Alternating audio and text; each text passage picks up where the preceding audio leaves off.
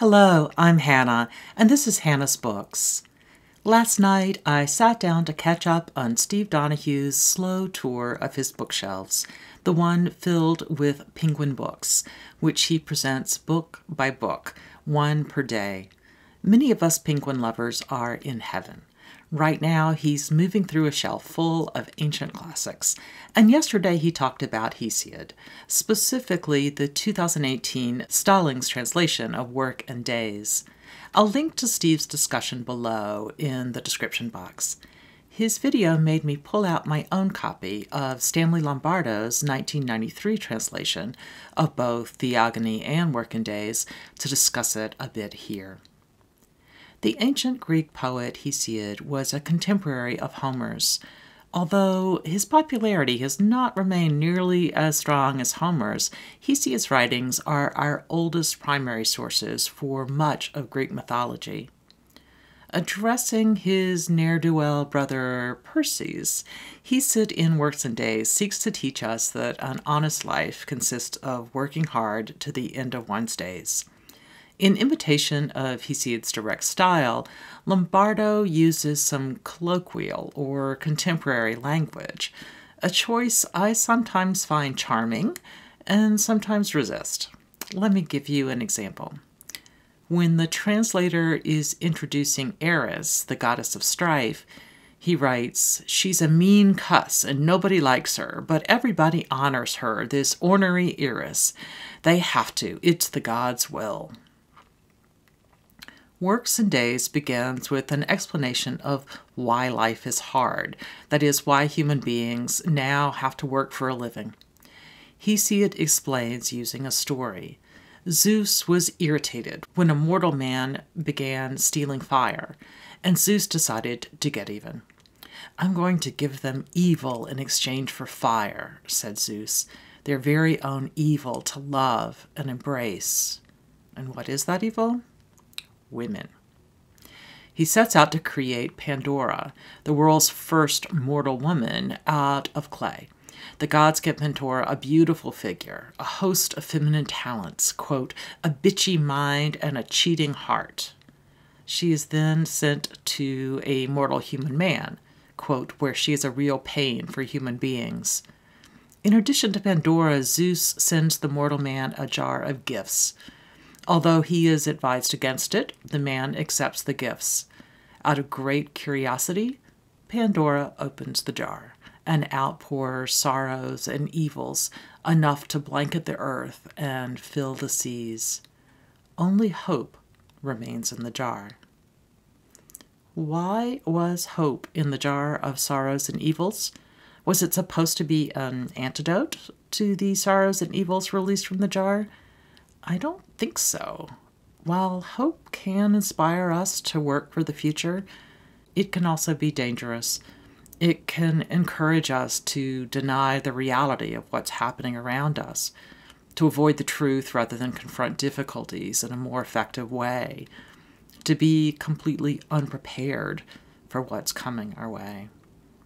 Our modern culture often insists that we must have hope, but maybe there are times when hope keeps us from taking action in the ways we should. That still leaves a question, though. What does it mean that hope remained in the jar? If you have any ideas, I'd love to hear them in the comments below. Anyway, the story of Pandora is similar thematically to the story of Adam and Eve in the Hebrew Bible. Eve, like Pandora, is a seductress who seeks more knowledge than God apparently wants humans to have. Like Pandora's God, Eve's God puts knowledge deliberately in her path, and both Pandora and Eve's quests for knowledge lead to the beginning of human sorrow and pain. There's one difference. The Hebrew God supposedly creates Eve to be a companion for man while the Greek gods create Pandora to be a punishment for man. Hesiod suggests that the human fall from our paradise was gradual. At first, humans lived with Cronus in the Golden Age, where they had no need for work. All was provided for them by the abundant earth. This race of humans was replaced by the people of the Silver Age, those who lived with Zeus and spent almost their entire lives as infants. This race was replaced by people of the Bronze Age, strong, warlike humans who eventually destroyed themselves. The Age of Heroes follows, the time from which come the noble Achilles and Odysseus. And finally, we come to the Iron Age, where men must labor in misery and desperation. It's an age of deceit, disrespect, unhappiness. The best course is to fight evil through hard work and steady routines. Hesiod's generally snarky tone is beautifully summarized by what is perhaps his most famous quote. He states that his hometown is bad in winter god awful in summer, nice never. Hesiod's poetry, at least as Lombardo translates it, doesn't have quite the same resonance today that Homer's epics do. Homer's exegesis of character is what makes his two epics so powerful for me. Hesiod's language is not as glorious, nor is his social analysis as relevant today. On the other hand, there are certainly historical reasons to read Hesiod. One is that he's shaped the way we often portray history as a golden age from which we've literally descended. Interestingly, we often pair the idea of a golden age with the idea that things were harder in the past. Our grandparents may have had to walk uphill both directions to school in deep snow all year round but their world was a better one, or at least that's the story we often tell. Perhaps we've combined Hesiod's proposal that hard work makes a better life with his idea of a golden age. Lombardo's translation of Hesiod contains a marvelous introduction written by Robert Lamberton. I'm especially intrigued by a pair of facts Lamberton points out. In Theogony, the author introduces himself as Hesiod, a narrative style we don't really see in Gilgamesh or in Homer's epics, and one that's the precursor to modern first person narration, as Steve Donoghue alludes to in his video.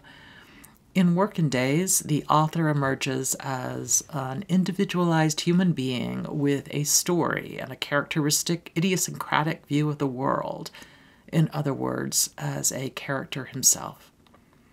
Is he writing autobiographical work?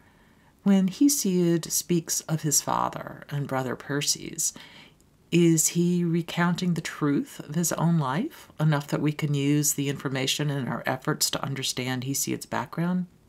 In Work and Days, Hesiod gives Perses a long speech about his family and behavior this is very much a constructed speech, which he never would have given in real life, especially since he's presenting family history that his brother would, of course, have already known.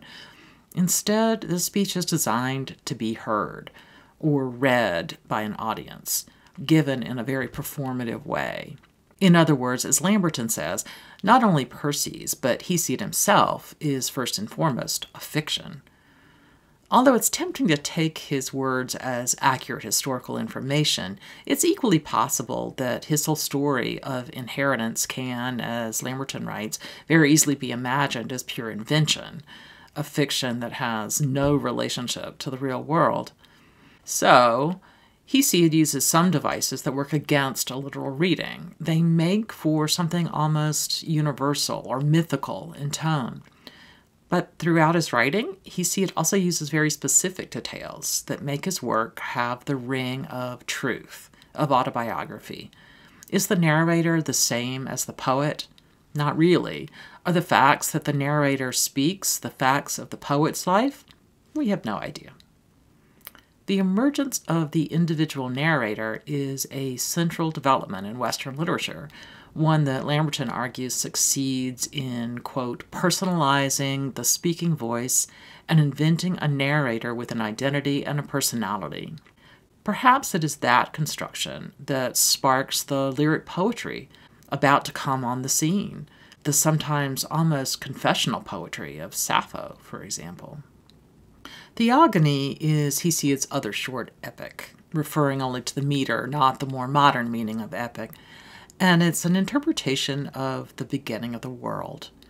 The poem begins with a long introduction, which serves as an invocation to the muses to speak through the poet and tell the story of origins. Once the introductory hymn concludes, we begin to read about creation in terms that remind me of the Hebrew Bible. In the beginning, there was chaos, the abyss. But soon the two texts part ways. Hesiod stresses the importance of sexual reproduction in the invention of the world. From the abyss were born Erebus and the dark night, and night, pregnant after sweet intercourse with Erebus, gave birth to ether and day. In fact, creations conceived without sex seem dangerous and evil. Then earth gave birth to the barren, raging sea without any sexual love, says one line. Another reads, Sleeping with no one, the ebony goddess Night gave birth to blame and agonizing grief. A great deal of theogony is simply a listing of the generations of the gods and goddesses. Often it reads like a section of Genesis, but in Hesiod we get some excitement. Mothers and fathers mingling in love rather than just strictly begatting. This positive view of sexual reproduction reminds me of the civilizing effects of sexual intercourse in Gilgamesh. More on that in an upcoming video. Still, the misogyny in this book is pretty intense, so much so that I really don't want to go into much of it. I'll give you one example, though. They were stunned, immortal gods and mortal men, when they saw the sheer deception irresistible to men, from her race, the race of female women, the deadly race, and population of women, a great infestation among mortal men, at home with wealth but not poverty. It's the same as with bees in their overhung hives, feeding the drones, evil conspirators. The bees work every day until the sun goes down, busy all day making pale honeycombs, while the drones stay inside in the hollow hives, stuffing their stomachs with the work of others. That's just how Zeus, the high lord of thunder, made women as a curse for mortal men. Hesiod gives pages and pages of clever advice. That is, advice that sometimes feels almost like satire or even mockery. Reading him, I thought of Shakespeare's Polonius and his Never a Borrower nor a Lender Be speech. A few examples. Be sure to invite the fellow who lives close by. If you've got some kind of emergency in your hands, neighbors will come lickety split. But kinfolk take a while. Don't be tiresome at a potluck dinner.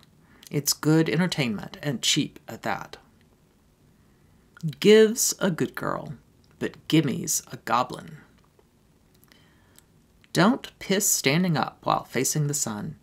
And to continue the misogyny we've already seen, first get yourself a house, a woman, and a plow ox, a slave woman, not for marrying, one who can plow. Don't wash in a woman's bathwater, which for a time has a bitter vengeance in it. Or, my favorite, don't let a sashaying female pull the wool over your eyes. Hmm, wool. Must go pull out my knitting so I can do some more effective sashaying next time. Thanks for joining me today. See you soon.